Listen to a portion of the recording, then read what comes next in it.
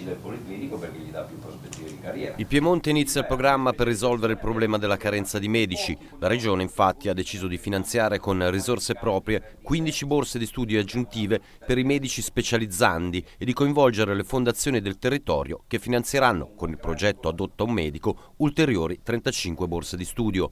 La carenza di medici è il principale problema che la sanità, non solo piemontese, si trova ad affrontare. Un vuoto che rischia di accentuarsi con una brusca accelerazione dovuta all'introduzione della quota 100 nella legge di bilancio 2019. Obiettivo è riuscire ad avere tra due anni un'iniezione di medici preparati che presteranno servizio negli ospedali piemontesi, come spiegato dal governatore Alberto Cirio.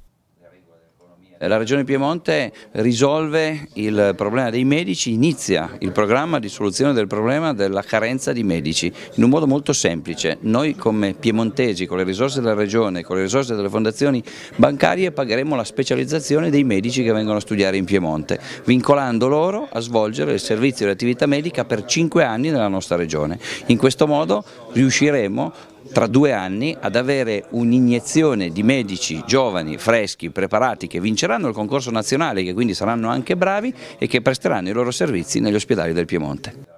La Giunta ha approvato gli schemi di convenzione con le università di Torino e del Piemonte orientale, con i quali la Regione finanzia con 1.900.000 euro 15 contratti di formazione medico-specialistica a decorrere dall'anno accademico 2018-2019 e per tutti i cinque anni del ciclo formativo, come precisato dall'assessore piemontese alla sanità Luigi Cardi, nel dettaglio i 15 contratti riguardano anestesia, rianimazione, terapia intensiva e del dolore, medicina d'emergenza-urgenza, 4 ortopedia e traumatologia e 4 pediatria.